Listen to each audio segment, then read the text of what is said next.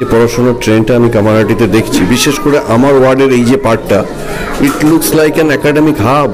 এত স্কুল রয়েছে কারণ আমি পরিবেশ সাহেবকে বলছিলাম যে আমার এত ভালো লাগছে যে আমার এই तो পার্ট जाके बहुत जगह क्लासेस कर सकते हैं फी पे कर सकते हैं लेकिन जितने बच्चे अफोर्ड नहीं कर सकते हैं और हम लोग ऐसे एरिया में रहते हैं जो जूट मिल एरिया में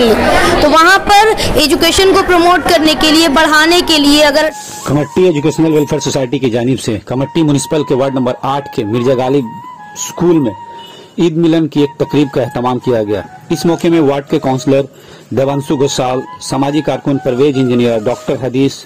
व अन्य मौजूद रहे। इस तकरीब के दौरान national council for promotion for Urdu की जानब से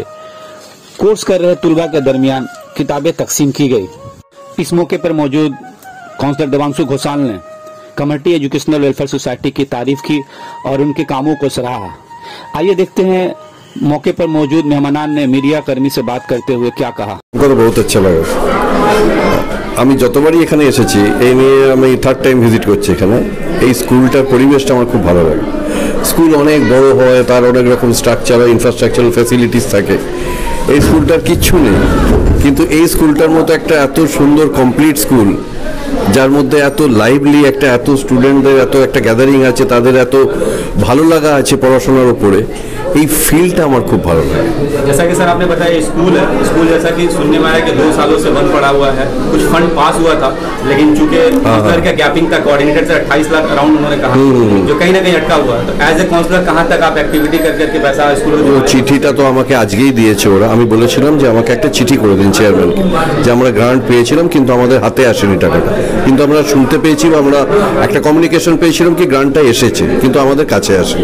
তো লিখে দিলে আমি আজকেও চিঠিটা পেয়ে গেছি। এইটা আমি এখন চেয়ারম্যানের সঙ্গে টেক আপ করব যে এক্ষুনি যেন যত তাড়াতাড়ি হয়, কারণ আমি দেখতে পাচ্ছি যে দুটো যদি না অ্যাডিশনাল ক্লাসরুম আর যদি না দুটো ভালো টয়লেট হয়, তাহলে বাচ্চাদের সত্যিই অসুবিধে হচ্ছে। আমাদের এটাকে সলভ করতে হবে যত তাড়াতাড়ি সম্ভব অ্যাজ ফাস্ট এজ পসিবল आज के प्रोग्राम में सर आपने देखा कि ज़्यादातर प्रोग्राम में लड़कियां ही ज़्यादा थी लड़के बहुत कम थे तो अभी के जो यूथ को आप क्या मैसेज देना चाहेंगे कमेटी का आबादी खासकर जो एक अलग मैसेज आता था पहले लेकिन अभी जो कुछ सालों से कमेटी एजुकेशन के मामले में डेवलप्ड हो रहा है तो आप आने वाले जो यूथ को आप क्या मैसेज देना चाहेंगे अपने जानिब से as a intellectual as a councillor দেখুন, আমি তো এটাই চাইব, এই যে পড়াশোনার ট্রেনটা আমি কামারহাটিতে দেখছি, বিশেষ করে আমার ওয়ার্ডের এই যে পার্টটা it looks like an academic hub এত স্কুল রয়েছে আমি পরিবেশ সাহেবকে বলছিলাম যে আমার এত ভালো লাগছে যে আমার এই পার্টেতে এতগুলো স্কুল আছে, এত পড়াশোনার একটা মহল আছে। এইটা আমাকে খুব খুশি করছে। মানে এটা আমাকে, এইটা স্বপ্ন দেখাচ্ছে কি আগামী দিনে এই ছেলেমেয়েগুলো বড় হয়ে একটা ভালো জায়গায় যাবে, তাদের একাডেমিক লাইফ তাদের কেরিয়ার একটা তৈরি হবে। কামারহাটিতে পরিবেশ সাহেবের মতন মানুষ রয়েছেন, ওনার মতো মানুষ রয়েছেন, ওনার মতো মানুষ রয়েছেন those who are very successful কিন্তু they are still living within Kamarhati যাতে কি না এই স্টোরিটা যেটা এতক্ষণ আমরা আলোচনা করছিলাম, যে এই ইনসাইড স্টোরি অফ কামারহাটি যে সাকসেসটা যেটা আছে, এটাকে আপনারা আরও লোকের কাছে ছড়িয়ে দিন। বাচ্চারা এনাদের যাতে লাইফস্টাইলটা পড়ে, এদের গল্পটা শুনে আরও বেশি ইন্সপায়ার হতে পারে। Education is the only weapon we have darkness কাটাতে গেলে এডুকেশন ছাড়া কোনো উপায় নেই এবং বাচ্চাদের হাতে আমরা একটা জিনিসই তুলে দিতে পারি সেটা হচ্ছে এডুকেশন এবং সেটার জন্য আমাদের দরকার হচ্ছে ইনফ্রাস্ট্রাকচারাল ফ্যাসিলিটি जैसे सर आपने कहा कि आपके वार्ड में बहुत सारा स्कूल है लेकिन एकमात्र स्कूल उर्दू मीडियम ये स्कूल है तो कहाँ तक कॉपरेशन है जैसा कि परवेश सर ने भी अपने स्पीच में कह रहे थे कि अ, जितने भी लोग यहाँ से सक्सेस हुए ज्यादातर वो उर्दू मीडियम के स्कूल है डॉन बॉस्को और सेंट जेवियर्स के नहीं है। तो एकमात्र स्कूल है उसको कहाँ तक आपका सपोर्ट रहेगा सर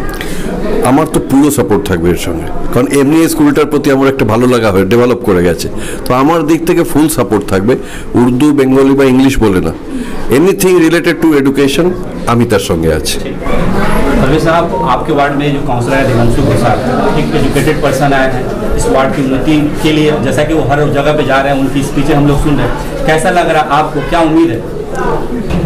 हमारे प्रेजेंट काउंसलर दिवांकु घोषाल साहब से बहुत सारी उम्मीदें हैं देखो, इनको हम लोगों ने चुन के इसलिए लाया है कि इनका शुरू से जो है जब इन्होंने कंपेनिंग में आया था, तभी इन्होंने अपना मिशन बताया था कि देखो, मैं सिर्फ़ एक काउंसलर के तरीके से नहीं आया हूँ कि वार्ड का काम होगा और मुझे पॉलिटिक्स करनी है और सिर्फ़, और जिस तरीके से जैसे लोग करते हैं वैसे। इनको बल्कि एक मिशन लेकर आए ही। Has a very clear cut mission for the ward for the society and for the इलाका। उनका सबसे बड़ा इंटरेस्ट है एजुकेशन पे स्पोर्ट्स पे। Overall development of the society ये दो तीन टॉपिक इनके पास इतने अच्छे हैं जो बहुत ही क्लियर कट है। और अभी तो बहुत, अभी तो सेलेक्ट अभी तो इलेक्ट होकर के आए हैं। और उम्मीद करते हैं कि हम इनसे जो आने वाले पाँच सालों में इनका परफॉर्मेंस दूसरों से बहुत अलग होना चाहिए। और ये हमारी बहुत अच्छी उम्मीद पूरी उम्मीद है। सर, यहाँ पे जो प्रोग्राम हो रहे क्लासेस करवाए जाए उर्दू अकेडमी की तरफ़ से कौन कौन सा कोर्स होगा, इस बारे में थोड़ा सा बताएँगे?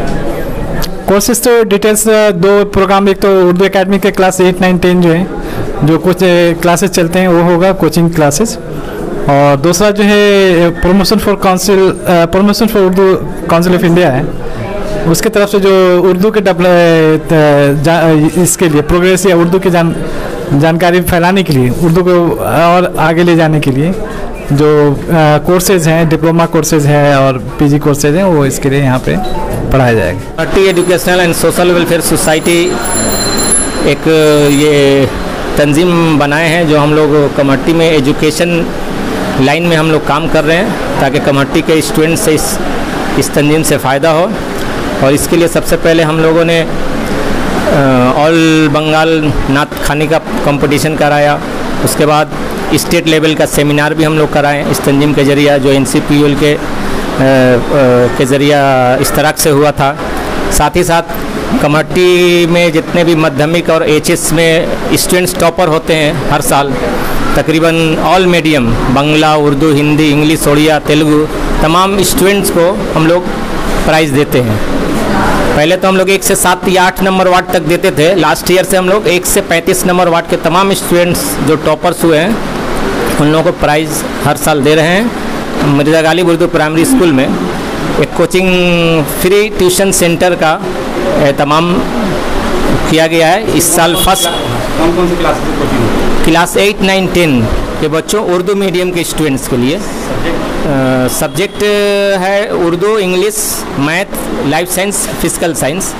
ये बच्चों को पाँच सब्जेक्ट यहाँ पढ़ाए जा रहे हैं। Free of cost. Urdu academy के ताउन से, फ़र्स्ट अप्रैल से इस साल शुरू किया गया है। और साथ ही साथ national council for promotion of Urdu language ministry of human resources development, higher education, government of India के ताउन से भी one year diploma course in Urdu language भी फ़र्स्ट अप्रैल से हम लोग शुरू किए हैं। स्टूडेंट्स हम लोग को हर क्लास में चाहिए, लेकिन अल्लाह का फजल करम है कि हर क्लास में एवब फोर्टी स्टूडेंट्स हैं। जैसा आज आप लोगों ने जो ईद मिलन प्रोग्राम के साथ बुक डिस्ट्रीब्यूशन प्रोग्राम किया, किस तरह की किताबें आप लोगों ने तकसीम की क्या क्या था उसके बारे में ये किताबें national council for promotion of Urdu language Delhi से ये किताबें आई हुई हैं। उर्दू सबके लिए पार्ट वन और पार्ट टू वहाँ पर पार्ट पार्ट वन और पार्ट टू ये दो किताबें हैं, दिल्ली से आई हुई हैं, और ये किताबें हम लोग तमाम बच्चों को आज डिस्ट्रीब्यूट किए हैं इसलिए कि उन लोगों का क्लास बहुत पहले ही स्टार्ट हो चुका है किताबें नहीं आने की वजह से। पढ़ाई ठीक से नहीं हो पा रही थी इन अब किताबें आ गई हैं। अब उन लोग बच्चे भी किताबों से फैजियाब होंगे और इसके अलावा आप लोग की तंजीम और कोई नया मैंने इनिशिएटिव लेना चाह रही है जिसके बारे में सोच रही है लोगों को बताना चाहें हमारे चैनल के माध्यम से हम लोग Kamarhati education society and social welfare society की तरफ़ से हम लोग कोशिश कर रहे हैं कि कमरट्टी में एजुकेशन में तमाम बच्चे आगे बढ़े और मेरा नाम निराशा खातून है। और यहाँ पे जो प्रोग्राम हो रहा है ये एक कोचिंग इंस्टीट्यूट है जो फ्री कोचिंग इंस्टीट्यूट है उर्दू एकेडमी की तरफ़ से चल रहा है। और यहाँ पे बच्चों को एट नाइन और टेन के बच्चों को फ्री में पढ़ाया जाता है। और आज यहाँ पे ईद मिलन पार्टी है ताकि बच्चों को थोड़ा इनक्रेज किया जाए थोड़ा पढ़ाई से हट के उनको थोड़ा इन्वायरमेंट मिले। और यहाँ पे पूरी तरह कोशिश की जाती है कि बच्चों को हर तरह से सपोर्ट किया जाए उनके पढ़ने में। मैं यहाँ लाइफ साइंस पढ़ाती हूँ। एट नाइन टेन तो यहाँ पे कितने बच्चे हैं? एवरेज क्लासेस एवरेज हर क्लास में थर्टी स्टूडेंट्स है। अभी तो इंक्रीज कर गए हैं फोर्टी के अराउंड चले गए तो थर्टी फाइव एवरेज मान के चल सकते हैं। ये जो क्लासेस होते हैं ये चार्जेबल होते हैं या फ्री ऑफ़ नहीं नहीं फ्री ऑफ़ कॉस्ट है। नाम ही फ्री कोचिंग इंस्टीट्यूट तो आप लोग जो बच्चों का दाखिला लेते हैं किस बिना पर लेते हैं? हम लोग बच्चों का दाखिला जब स्टार्टिंग में अनाउंस कर दिया गया था सारे स्कूलों में कि फ्री ऑफ़ कॉस्ट पढ़ाया जा रहा है जो नीडी हाँ नहीं मेनली जो नीडी है मेन नीड यही है जिसका नीड है जो नहीं अफोर्ड कर सकते हैं। बहुत सारे तो ऐसे बच्चे हैं जो जाके बहुत जगह क्लासेस कर सकते हैं फ़ी पे कर सकते हैं लेकिन जितने बच्चे अफोर्ड नहीं कर सकते हैं और हम लोग ऐसे एरिया में रहते हैं जो जूट मिल एरिया में तो वहाँ पर एजुकेशन को प्रमोट करने के लिए बढ़ाने के लिए अगर टीचर्स आगे आगे सपोर्ट नहीं करेंगे तो फिर कैसे बच्चे कैसे आगे बढ़ेंगे?